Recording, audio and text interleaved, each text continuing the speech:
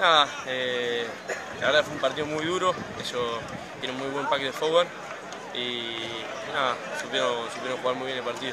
Se hace difícil cambiar un poco de chip ahora, bueno, con esto de las ventanas, ¿no? Pasar del torneo de la urba al torneo, volver al Nacional de Clubes. Un partido también que es a matar o morir, ¿no? Porque es un solo partido. Sí, sí. eh, bueno, por ahí un poco estos partidos te sirven por ahí para darle minutos a los otros jugadores, probar gente. Por ahí un poco que en el, que en el top 12 viste, no te das el gusto de poder hacerlo y por ahí esto te ayuda a eso. Y bueno, eh, la verdad que muy contento porque a los chicos que le tocó entrar, eh, la verdad que lo hicieron muy bien. Eh, la última te agradecemos de Ravi Champán, eh, Mauro, muy buen arranque del casi, porque le ganaron a Cuba, ahora este andar con mucha gente joven que vemos y, bueno, lo que se van insertando ¿no? con un par de años, ¿no? vos, cuando viniste de Salta, ¿no?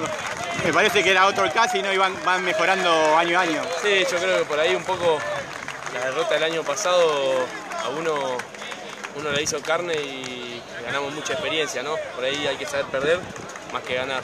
Y bueno, eh, le hicimos, le hicimos, la verdad que yo en ese sentido siento que gané mucha experiencia, no quiero regalar un minuto, un partido, nada, y nada, paso a paso.